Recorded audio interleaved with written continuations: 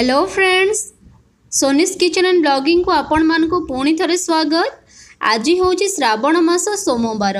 ତେଣୁ ଭଗବାନ ବେଲେଶ୍ୱରଙ୍କୁ ଦର୍ଶନ କରିବା ଉଦ୍ଦେଶ୍ୟରେ ଚାଲନ୍ତୁ ବୁଲିଯିବା ଭଞ୍ଜନଗର ସ୍ଥିତ ଶ୍ରୀ ଶ୍ରୀ ବେଲେଶ୍ୱର ଶୈବପୀଠକୁ।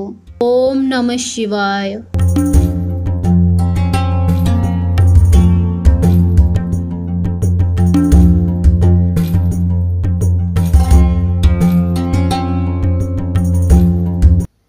ଏଇଟା ହେଉଛି ମନ୍ଦିରକୁ ଯିବା ପାଇଁ ଏଣ୍ଟ୍ରାନ୍ସ ଭିତରକୁ ଦେଖିବା।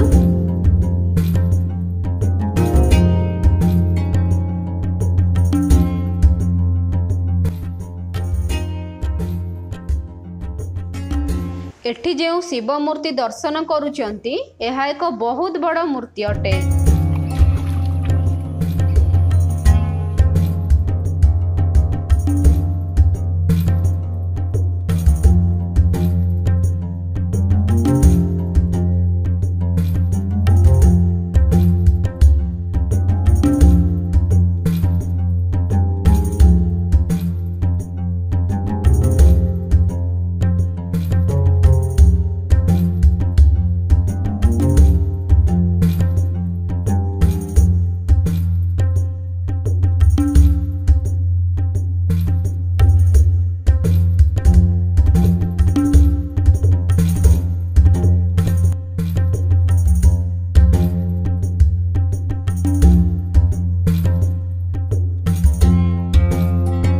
ତଳେ ଥିବା ଚତୁଃପାର୍ଶ୍ୱର ଦୃଶ୍ୟ ତ ଆମେ ଦେଖିଲେ ଏବେ ଚାଲନ୍ତୁ ଉପରକୁ ଯିବା ଏକ ବିରଳ ଶିବଲିଙ୍ଗ ଦେଖିବା ଯାହାକି ପାରଦରେ ନିର୍ମିତ ଶିବଲିଙ୍ଗ ଅଟେ।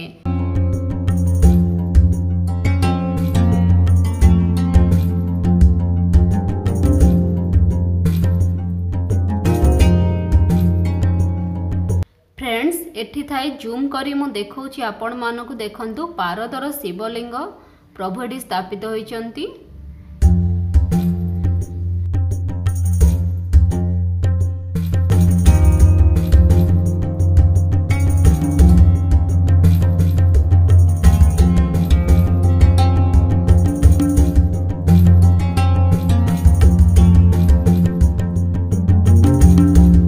ମନ୍ଦିରକୁ ପ୍ରବେଶ କରିବା ପାଇଁ ଏପଟେ ମଧ୍ୟ ମୁଖ୍ୟ ଦ୍ୱାର ରହିଛି।